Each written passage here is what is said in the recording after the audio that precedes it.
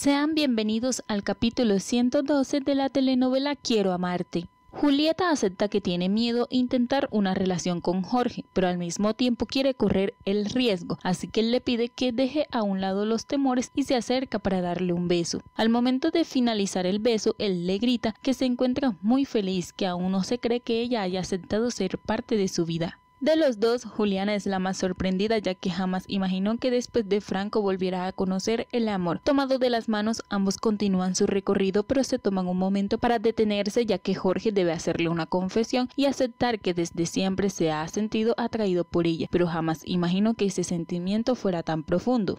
Mauro recibe un mensaje de texto del investigador privado quien le informa que aún se encuentra en Guatemala y que desafortunadamente aún no han conseguido pistas sobre Florencia. Ahora este debe girar ya que Lucrecia ha llegado a la casa junto con su nueva seguridad. En ese momento se saludan y él le da una acogida a ella ya que luego de tantas amenazas es comprensible que se sienta atemorizada. Para otro los momentos no son tan difíciles ya que Jorge y Juliana disfrutan de su nueva relación y lo hacen con un beso. Mientras Mauro y Lucrecia entran a la casa y lo primero que reciben es la noticia de Maximiliano y Amaya que se encuentran juntos o eso es lo que César les insinúa a ellos. Como hay de esperarse la noticia resulta como un balde de agua fría para todos y se acomodan en el sofá. César se encuentra bastante alterado y piensa que está siendo traicionado. A pesar de eso y de todas las especulaciones que él tiene, Mauro le aconseja tranquilamente Lucrecia también le insiste para que se calme ya que según las palabras de Maximiliano, él odia a Amaya. César decide no insistir con el tema pero asegura que si Maximiliano se ha metido con su esposa él se encargará de matarlo. Nadie hace caso a sus ridículas palabras ya que piensa que todo se debe al enojo que siente en el momento.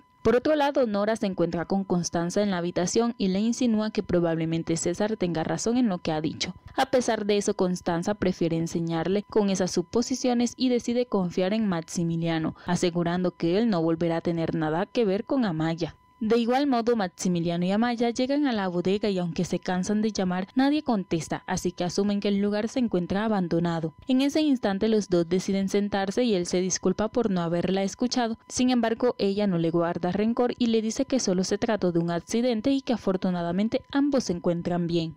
Maura se trata de comunicar con Maximiliano pero no logra, así que deja un mensaje de voz indicándole que se comunique lo antes posible con la familia. César también insiste en que tiene razón y que ellos dos se encuentran juntos. Sin embargo, Mauro decide no hacer caso a sus palabras y piensa que los motivos por los cuales ellos no contestan deben tratarse de otra cosa. Por lo que Mauro toma nuevamente su teléfono y decide marcar a la finca del paraíso para conseguir información de contacto del lugar donde vive Iván. Héctor es quien contesta la llamada y dice no tener el número de la finca, pero accede a darle el número de teléfono de Iván.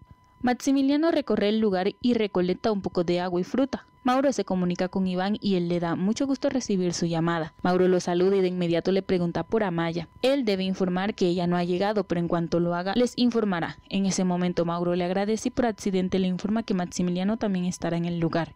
César continúa con sus cizañas y sigue bastante alterado insistiendo que su hermano planeó todo eso para pasar tiempo a solas con Amaya. Para todos es bastante absurdo las especulaciones de él, así que le piden que se calme y como las palabras de Constanza no funcionan, Lucrecia interviene, pero no es de mucha ayuda ya que causa que él se marche del lugar. Por otra parte, Cipriano se encuentra con mucha prisa y el padre lo detiene para pedirle información de Mariana ya que hace mucho tiempo no sabe de ella. A Cipriano no le agrada hablar de ese tema ya que no considera a Mariana como alguien importante en su vida. En vista de que el padre se encuentra dándole sermones, le pide que se guarde sus palabras y le hace la señal de la cruz con su burla para luego retirarse del lugar. Carolina se encuentra en Chapa y se aloja en el hotel donde se encontraba el difunto fotógrafo, aprovechando que está en el lugar para hacerle unas preguntas al joven que se encuentra atendiendo la recepción. Pero él no es de mucha ayuda, así que debe ver a esperar algunas horas para conseguir un poco de información. Mientras lo hace, ha decidido ir a comer algo y el joven le recomienda un lugar en especial. Por otro lado, Juliana y Jorge han llegado a un puesto de comida y han comprado algo de lo que el señor vende. En ese momento ambos comienzan a disfrutar de lo que pidieron y al mismo tiempo se dan algunos besos.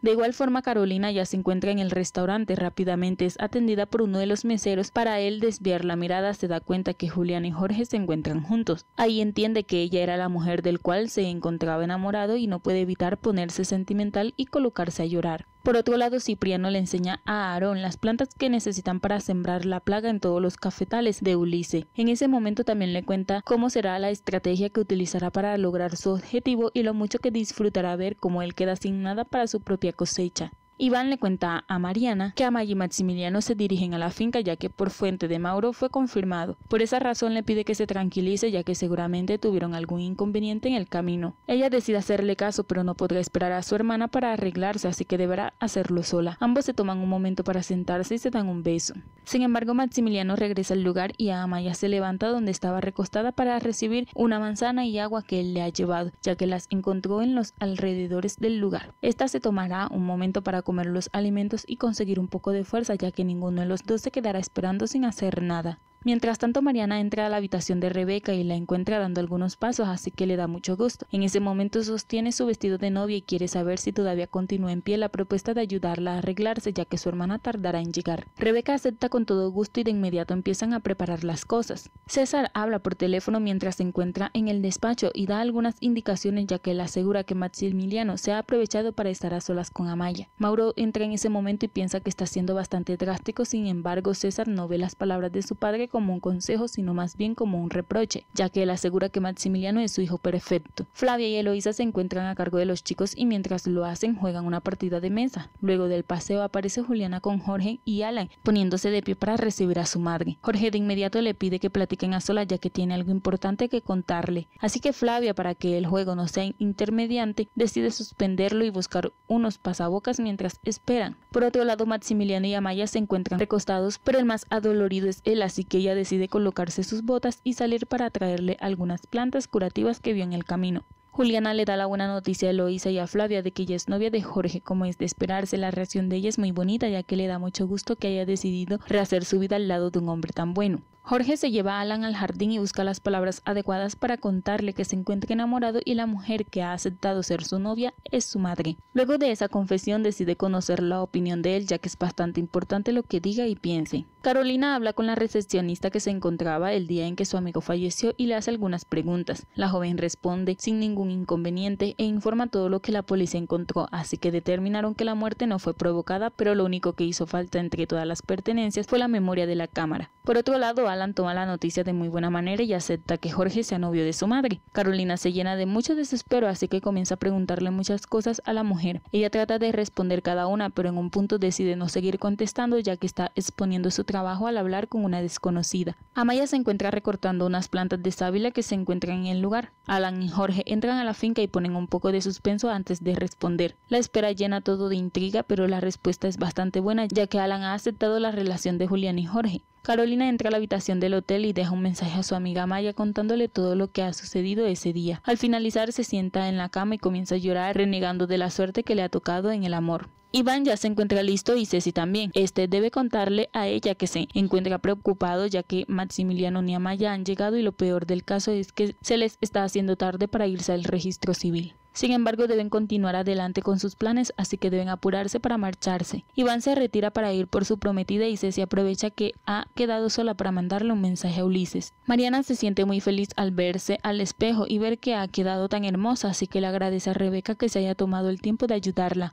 Iván toca la puerta en ese momento y un poco nerviosa le pide que no entre. Él le pide que se despreocupe ya que solamente quiere informarle que se irá adelantando con Ceci en lo que ella sale. Luego de un rato Mariana está totalmente vestida y le pide la bendición a Rebeca, pero ella se disculpa por no dársela ya que no es una persona religiosa. Mariana entiende su posición y sin embargo decide darle un abrazo. En esos momentos todos se encuentran afuera de la espera de que la novia salga. Rebeca se asoma por la ventana y también lamenta mucho no poder intervenir en los planes de Ceci. Amaya regresa al lugar y de inmediato abre las sábilas para untarle a Maximiliano en su espalda. Al terminar de hacerle curaciones, él se ofrece para hacerle las de ellas ya que quiere pagarle de la misma manera. Mientras lo hace, Amaya sufre, ya que puede decirle la verdad de por qué se casó con César, así que en medio de su frustración nace un llanto incesable saludable Por otro lado, César ya se encuentra listo y ha tomado la decisión de marcharse a Chiapas. Lucrecia da su opinión en ese momento y convence a César de deshacerse de Amaya en cuanto consiga lo que quiere y junto con ella desaparecerá Florencia para así quitarse esa piedra del camino. Iván y Mariana se dan un beso para luego entrar al registro civil y llevar a cabo su matrimonio. El notario dice las palabras las cuales llevan a cabo este acto y todos colocan sus firmas y por último se concede el beso que los declara marido y mujer. Por último el notario lo felicita y luego pasan los testigos a dar sus felicitaciones. Ellos vuelven a besarse y ahora solo falta ir hasta la iglesia para llevar a cabo su otra boda ante los ojos de Dios. Ahora se encuentran entrando a la iglesia, pero Ulises también ha llegado al lugar. César ha tomado la decisión de deshacerse de Maximiliano también, pero Lucrecia se opone, ya que Max es su hermano y no podría permitir tal atrocidad. Luego de tanta insistencia logra convencerlo y se retira con una gran sonrisa de la habitación. Sin embargo, César solo fingió para que lo dejara tranquilo, pero en sus planes está destruir a Maximiliano.